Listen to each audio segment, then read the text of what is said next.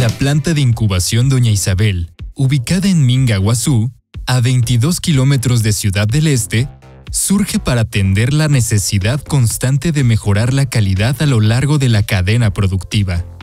Esta planta emplea procedimientos internos y externos que resguardan la bioseguridad, cumpliendo así los estándares más altos de calidad. Recepción de huevos. El proceso inicia con la desinfección de los vehículos que transportan los huevos. Al llegar, el pasaje entre la entrada y el camión queda sellado de forma hermética, para evitar el ingreso de agentes contaminantes.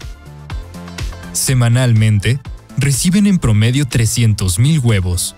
Estos huevos son separados y puestos en bandejas especiales para luego ser transportados a las salas de incubación.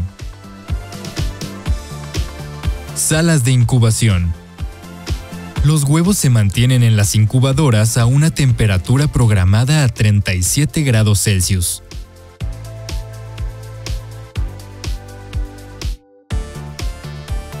Sala de pollitos. A los 21 días de incubación, los pollitos son trasladados a una sala donde se clasifican, vacunan y acondicionan en cajas para su posterior traslado a las granjas.